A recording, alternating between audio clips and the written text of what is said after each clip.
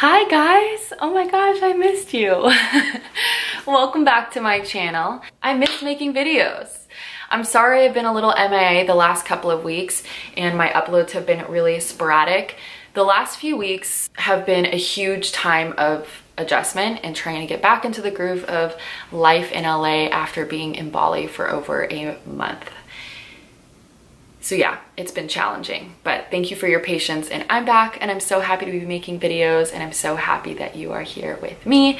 If you're not already, make sure you hit the subscribe button. I have lots of really fun videos coming up. So in order to put like a bookend on my Bali videos, I thought it would be fun to do a little sit down chat Bali recap and yoga teacher training recap with you because although I feel like I shared a lot of my trip through vlogs, I didn't really get a chance to give you my overall thoughts and feelings on my trip and there are some things that maybe I didn't share or couldn't share or didn't know at the time about my trip that I think it's worth sharing. Since I've been back, so many people are asking me, how was your trip? How did it go? What happened? Tell me what, about your trip. And to be honest with you, it's been really hard for me to put the trip into words. It was the most transformative, life-changing thing I've ever done for myself. Giving myself the gift of time and travel is something that I will be forever grateful for and I'm so glad that I did it and I'm so glad I did it now. It was amazing. And it, like I said it's hard for me to put into words. It's hard for me to verbalize it because it's just something that has to be felt you know? But really amazing. And the trip brought up a lot of stuff that I had been repressing and a lot of emotions and things that I haven't dealt with that I thought maybe might come up, but I wasn't totally anticipating. But it ended up being really good, even though it was challenging, because they were things that I really needed to face and move through so that I could heal and move forward with my life. So yeah, Bali's just a magical place. The energy there is amazing. The culture is rooted in gratitude. They have offerings that they put out every day and everyone that I came into contact with was so friendly and so loving and kind and generous. And um, yeah, I just had the best experience. I'm sure there's crappy people there, just like there's crappy people everywhere, but my overall experience with the locals and people that I met was I, I'm just in love with the culture and the people. It was really, really beautiful. Bali itself is really far from LA. it was like Think a total of 30 hours of travel with a layover and two flights, but it was so worth it. And uh, I would do it all again in a heartbeat. I really would. I actually didn't want to come home. I, I was totally sad to come home. I thought I would get more homesick than I got. I got pretty homesick when I was actually sick sick because I felt like absolute crap. And um, I was out of my element, didn't have my go-to places or things that I could pick up to make me feel better. So that was a little difficult, but other than that, I really had the time of my life and mm, I just love Bali. I have a special place in my heart for Bali and I cannot wait to go back. I don't know in what capacity I'll be returning, whether that's teaching or hosting retreats or just traveling, but I will 100% go back to Bali. It's a magical, magical place. I I thought it would be fun, like I said, to kind of recap my trip and then recap my yoga teacher training. I wanted to kind of touch on some things that I wish I could have done differently or that I'll do differently next time. And also the things that I did that I'm really happy that I did and also answer some of your questions. I put up a little question box on my Instagram, which if you're not following me over there yet, what are you doing? Follow me. I'm at Shayla Quinn. The link to my Instagram is down in the description box below, so make sure you follow me there. I update every day. It's really fun. Bali is magical. Have I said magical too many times? That's just the only word I can think of to describe it. It was definitely really difficult to adjust to such a slower pace of life. It's an island and everyone is on island time, you know, especially on Nusa Lembongan, which is where I did my yoga teacher training. It's just a lot slower pace and it felt really good uh, to slow down. So I needed, I needed that more than I even realized I needed it. The energy there is just different. I don't know if it's because I was on vacation ish. I mean, the training, I'll get into it, but was a lot more work than I thought. Uh, but the energy was just so different. It was so relaxed. There was something very casual about it, but very special. We love Bali. The other thing that was really cool about my trip was I felt incredibly supported the entire time. From the moment that I stepped off, from the moment that I got to LAX actually and began my journey there, I felt so supported by every single person that I came into contact with and met. And that was a really beautiful thing. I, I wasn't necessarily nervous about going. Once I decide I'm doing something, I usually just kind of bypass any of the fears or the thoughts of what could go wrong and I'm just like, okay, we're going.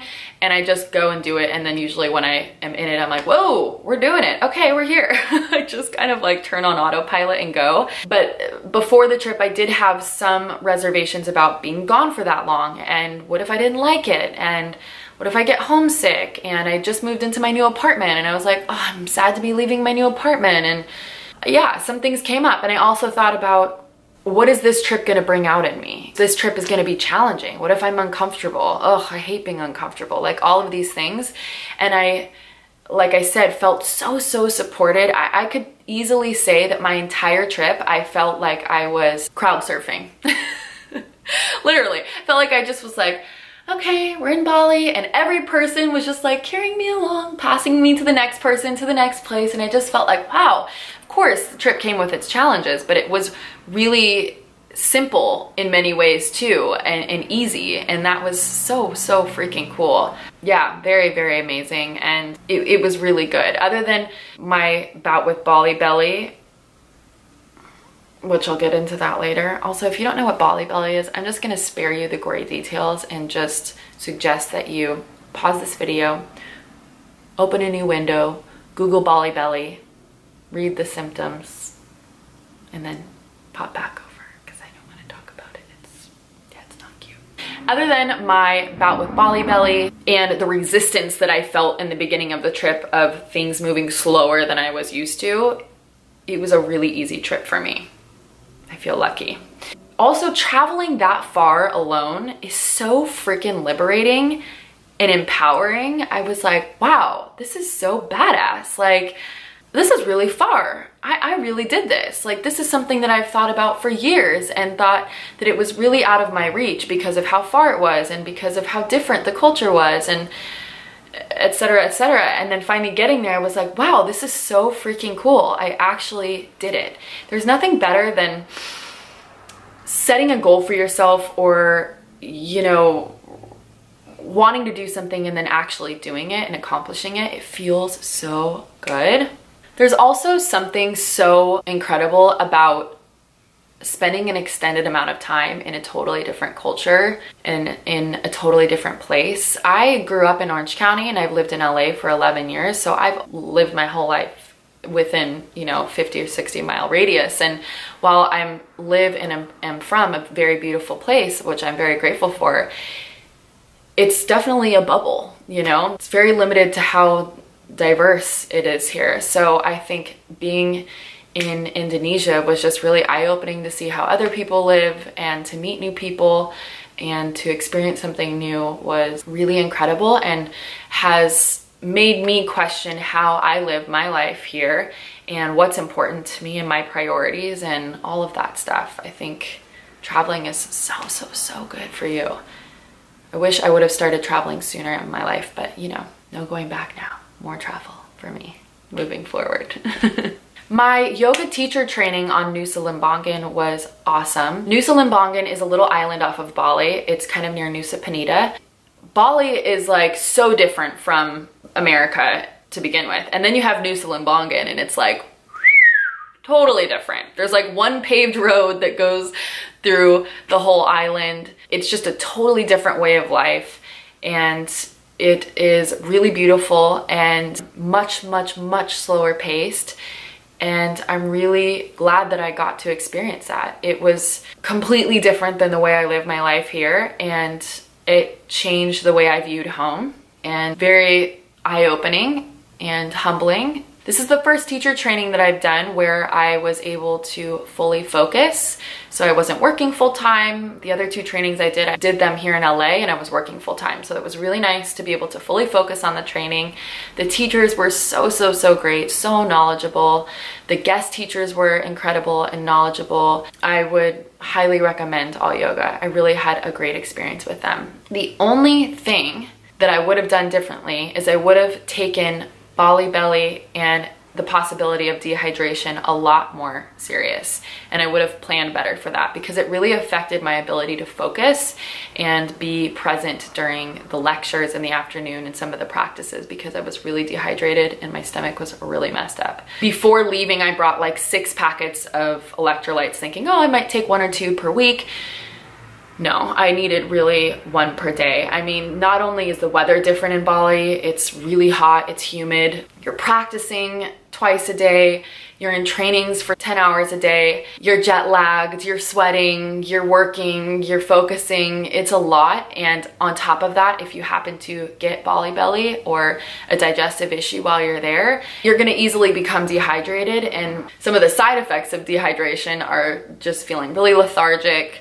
not being able to focus. I had a really hard time with it. The days are, were a lot longer than I anticipated and it was a lot more work than I anticipated. The training days are really rigorous. You start at 7.30 in the morning and so if you wanna grab a coffee before, you need to leave by 7 and if you wanna have time to get ready and or check emails, which is what I was doing in the morning, I was getting up at like 6 a.m you go get a coffee, you get your water, you start training at 7.30.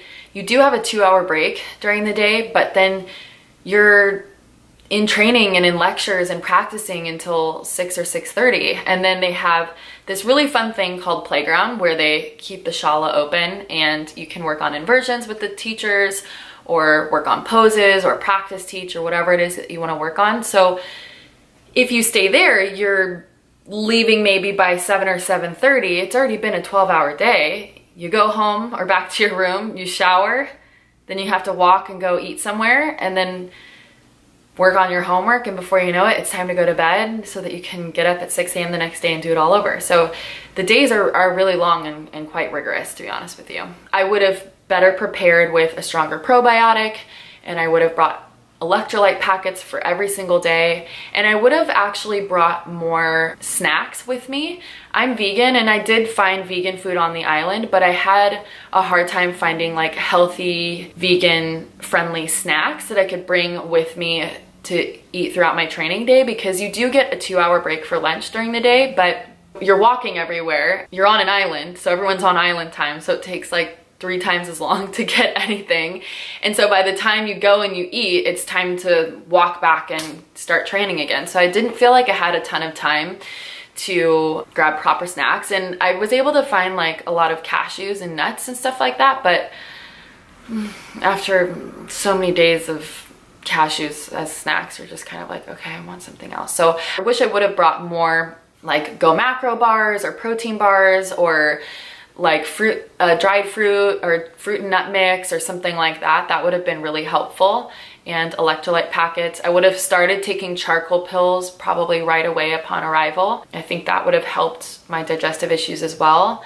And yeah, that's basically the only thing I would have changed is just to support my body better so that it could have supported me better through the training. Oh, actually there's one more thing this and this has nothing to do with the training itself. The training had great curriculum great teachers.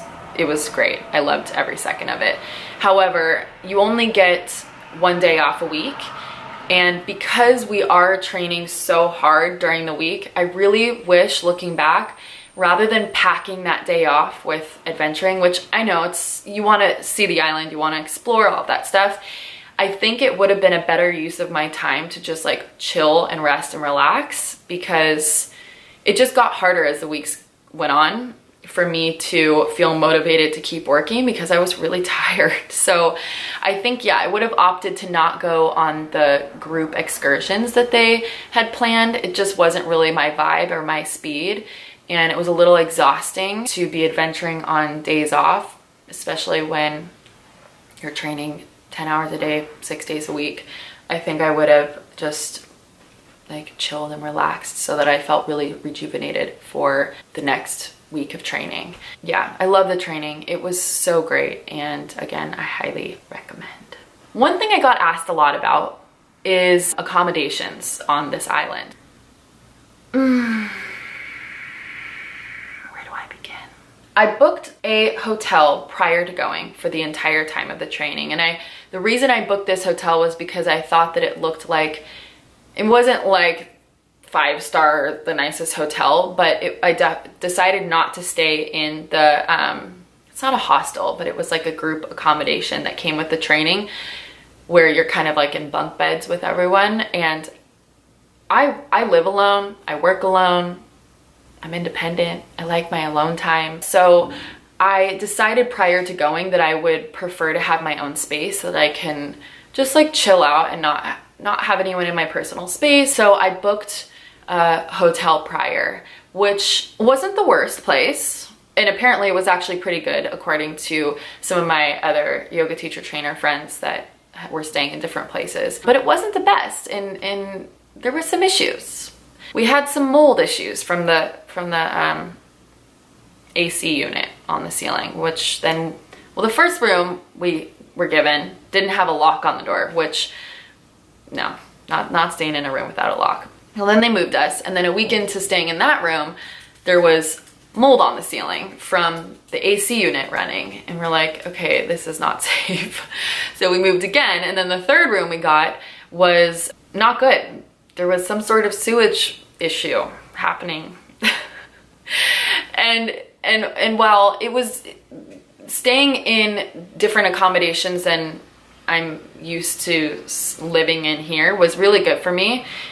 Not that I'm, I'm not a diva by any means, but it, it was good because it made me really appreciate the comforts of my home and the beautiful home that I've created. But yeah, I think accommodations are, it's really important to find a place that you feel really comfortable in that has AC. Make sure there's Wi-Fi. Make sure that you get hot water in the shower. Like you wanna take a hot shower at the end of your day. You wanna be able to lay down in the AC on your break at lunch. You know, you wanna feel comfortable because this training is a lot of work. It's a lot of information. You're training for really long hours and it's worth it to feel comfortable. Laura and I ended up moving hotels for the last four nights and that was so awesome that we were able to do that because we felt like we were roughing it for the first two and a half weeks and we hit a limit where we were like, I can't take this anymore. So, but there are lots of accommodation options on Nusa Lembongan and I would just check out the ones that All Yoga recommends and then also maybe read the reviews online of the place before you book it. And also I had some friends that actually only booked a few nights at one place and then once they got there, they went around and looked at the different places and that was probably that was probably a really good idea of them. Laura and I were a little worried about not having a place to stay and so we went ahead and just booked three weeks at the same place. Kind of like the other people's idea of booking a couple nights and then taking a look and seeing what else is around there. So yeah, that's the accommodation situation. The accommodations uh, in Bali were amazing and I got so many questions about the villa that we stayed in in Canggu. It was rented through Airbnb. So def definitely check out Airbnb. They have some really amazing places. So things I would have done differently. Numero uno. I would have taken Bali Belly and dehydration more seriously. Would have brought a stronger probiotic, I would have brought electrolyte packets, and I would have started taking charcoal pills right away. Bali Belly is a real thing, you guys, and it's not pretty. It's not pretty. And there's nothing worse than being all the way across the world and feeling like absolute crap. The other thing I would have done differently is I would have gotten a shorter layover on the way there. On the way there, I had a five hour layover in Sydney, Australia, and I wish I would have either had a shorter layover so that I wasn't sitting around the airport for five hours or maybe I would have had a longer layover so I could have actually left the airport to explore a little bit. Five hours, it was just too short to go out and do anything but too long to where I started getting really grumpy at the end of it. The other thing I would have done differently is I would not have tried to pack everything into one suitcase. I don't know why, but I had it in my head that it was super extra to bring two suitcases for a month and I was really hell-bent on getting everything in one suitcase and then I ended up buying an extra suitcase while I was there to bring stuff back with me. So don't worry about being extra. Bring an extra suitcase. You're gonna wanna shop. You're gonna wanna pick up gifts for people. Bring the extra suitcase. Who cares what anybody else thinks? Speaking of packing, I already mentioned this earlier, but I would have packed more vegan friendly snacks. If you don't have any dietary restrictions, then you're totally cool. For me, being vegan and trying to be mindful about being gluten free and, you know, health conscious, I wish I would have brought more snacks for myself for throughout my trip. I definitely had the plain snacks down on lock, but I wish I could have brought more for my trip and through my training. That would have made it a lot easier. I also would have packed more clothes. There is laundry available on Lembongan, but I have to be honest, they lost about five or six pairs of my underwear and my clothes smell funky coming back. So yeah, I would have just packed enough clothes to wear the whole time. I know that seems really excessive, but I wasn't crazy about the laundry services available and the fact that they lost my underwear. Things I was really happy that I did on this trip. I'm so happy that I arranged for airport pickup through the hotel that I stayed at the first night that I got to Bali. I stayed in Sanur Beach and I stayed at the Prime Plaza Hotel and I arranged prior to my arrival for there to be somebody to pick me up from the airport and it was such a relief knowing that I had someone reliable waiting at the airport for me with a sign with my name and I knew that, that it was reputable and safe.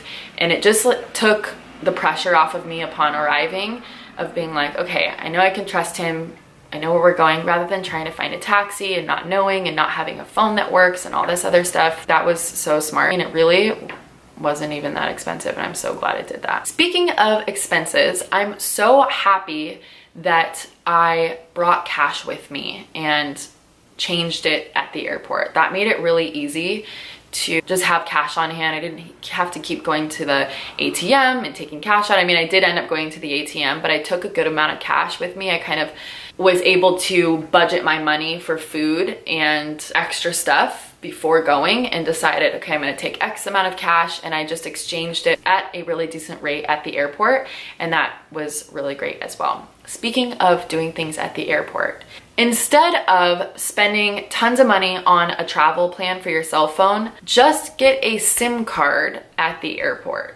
It is so easy and I'm so glad. I actually didn't end up getting one at the airport because my Balinese friend Hart had one waiting for me at the hotel, which is, still can't believe how nice she was to me. That's what I'm talking about, spiritual crowd surfing. Like that that was just so nice but anyway the sim card thing was so great because you could easily load load it up with however much money you wanted and then your phone worked and i'm so glad i did that because it made getting around and using my map and using my internet so easy and it was so much more affordable rather than paying verizon like a million dollars to only be charged extra roaming charges and blah blah blah blah blah so that was that was a really good move I'm also so glad that I gave myself an extra week in Bali after my training to chill and relax and explore. If I had had to have gone home straight after that training, I think I would have accidentally missed my flight. that training was way more work than I thought it was gonna be. I was exhausted and I'm so glad I had an extra week to relax and decompress from the training. I honestly could have used an extra, extra week, like two weeks. Yeah, I would have done that. I would have given myself two weeks. But anyway, extra time after training, it's a vibe. Okay, answering your questions from Instagram. oh gosh. My friend Lena, who I did the yoga teacher training with, wrote in a question, how long should you stay in Utipluti, which there's a pose called Utplutihi, but she calls it Utipluti, and that's amazing. I love you and I miss you. 10 full breaths.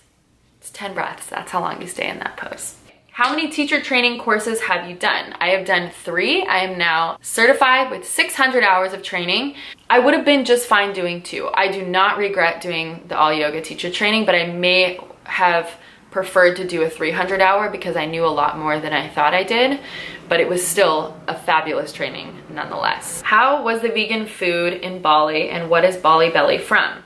The vegan food in Bali was really good. I had the best vegan food in Seminyak and in Canggu. There are vegan options on Lembongan, but not as many as I was hoping for. But I did, I mean, there were good options on Lembongan, but I only liked a few places.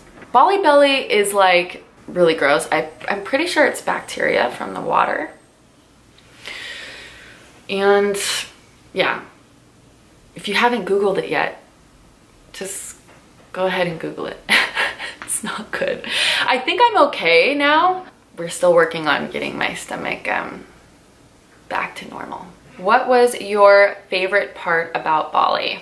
I'd say my favorite part about my trip to Bali was connecting with the locals and just seeing how other people live and communicating without words and creating just like loving relationships with people from different cultures and it was really beautiful. There was one woman in particular, Wayan, and she worked at the little convenience store near where I was staying on Lembongan and I would go there and buy my waters every day and we would have conversations without even using words from the same language and it just was so sweet because at the end as we were leaving our our taxi stopped nearby her store and I was like bye Wayan and she ran across the street and was like please come back to Bali. And she was so sweet. And it was just, that was really special connecting with people and the anonymity. The anonymity, being in a place where nobody knows who you are, you don't know where you're going, everything's new, you just feel like a kid again. It's so mm, inspiring and good. I want to know more about your energy healing done in Canggu. Yes, I had an energy healing done in Canggu and it was really interesting. I had a really good experience and then Laura had kind of a weird experience with him. So it just feels like nothing bad, bad, bad, but just he was talking some weird things about things that she kind of threw her off a little bit. But my energy healing was really good and, and regardless of who said what or what happened, it did bring me a lot of clarity about things that I need to move through. And again, like I said before, it was just a really personal experience for me. I think it's just good to keep to myself. How do you feel being home? What has been the hardest part about leaving Bali? I feel good. Today I feel really good. The first week was really hard. I was really jet lagged. I had a really hard time getting back into my health and fitness and yoga routine. Teaching in the studio was totally cool. I that felt really easy and natural to return back to, but my day-to-day -day life, I was like, huh, what do I do? What's my life about? What's my purpose? Why am I living here? I was very confused about everything. And yeah, it was really weird being home. It was weird like talking to people, my phone ringing, and it was just like weird, I don't know, it was just really strange. It was like very strange. I feel a lot better now, but I'm still trying to get back into a healthy routine. And so, yeah, the hardest part about leaving Bali was like leaving paradise. leaving, you know, a life where your day to day is spent on the beach barefoot, like not wearing shoes all day and just fully focusing on yourself. Whereas here, I think I'm a lot of things to a lot of different people. And so I have a lot more responsibility and more work. And I'm so happy to be back now today. Like, I feel like I'm getting readjusted and kind of getting back into my routine. But the main thing about feeling better about being home was finding my groove again, which I think maybe I'll make my next video about that. kind of how to beat the post vacation blues and like how to get back into a routine because that's made me feel a hundred times better. I felt like absolute crap when I first got home and I think it was because I wasn't really doing the things or doing things that made me feel good. I was really jet lagged, staying up really late. I was not eating very well. I was like all over the place and now I feel so, so, so much better. What's the daily schedule like for yoga teacher training? I think I kind of touched on this earlier, so I feel like I already answered that question. I also did a day in the life vlog and I will link it below for you to see. That was like a Friday fun day, so that day was a little bit different. But yeah, 12 hour days. It's long. How were the other people in your training? Are you still friends? I had the most amazing group of people in my training. The teachers were so loving and so supportive and so available and so sweet. And everyone in my training was amazing. We still talk frequently on our group chat and it's so fun to stay connected with them on Instagram and I feel like I made really good friends with everyone and yeah, I got lucky with a really good group. Did anyone on the yoga teacher training have kids and did they bring them along to Bali? Yes, some people in my training did have children, but they did not bring them along with them to the training. I think it would be really difficult unless you had your spouse or some sort of help because you are in training for 12 hours a day and you only get one day off a week and it is a lot. You have a lot of homework, there's a lot of studying, there's a lot of practicing, and I think it would be best if you could do it during a time that you could really take the time to yourself. But again, if maybe your spouse or a parent or someone that could help you during the day, um, you could totally do that and maybe I don't know, could be doable. The thought of trying to take care of anyone while I was trying to do that training other than myself seems a little daunting if I'm gonna be honest. but you know, moms are superheroes, so you could probably handle it. Would you recommend traveling alone or with someone? I, I basically traveled alone. Here's the thing, I knew Laura as an acquaintance before the training. And so I knew that she and I would be rooming together on the island and I thought, oh, it'll be nice to have a buddy um, that I, you know, know from home on the training. We ended up becoming really, really good friends, which I'm so thankful for uh, throughout the training. So it was really nice to have someone to travel with. But I traveled there and traveled home alone, and I could have totally done the whole thing alone. Laura made it better, but you could absolutely do it alone. What fitness level did you feel you needed for the training?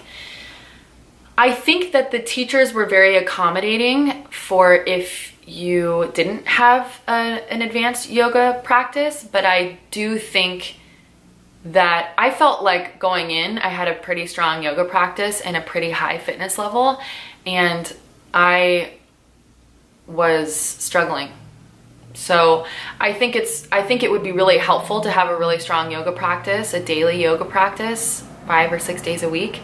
And I think having a pretty strong fitness level would be helpful as well. Again, 12 hour days, you aren't practicing the entire time, but you're putting a lot of stress on your body, you know? Not only physical stress, but also mental and emotional stress. And I think it's important to have a really strong body. But again, there were people there that didn't have a long or strong yoga practice physical practice and they did great and they progressed really well throughout the training. So I don't know.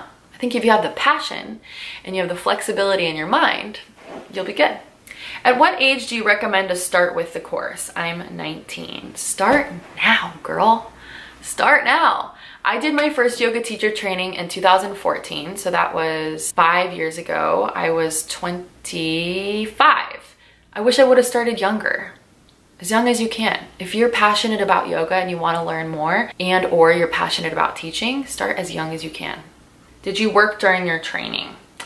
I didn't work during my training. I didn't take on any collaborations for the whole month and it felt really good. I did create content and post on my Instagram and obviously created vlogs but I'm passionate about doing that as well. It's not only my source of income, but it's something that I'm really passionate about and enjoy doing. So it was really fun to create without like an end goal. It was really fun to just create for the love of creating and it was a really nice break.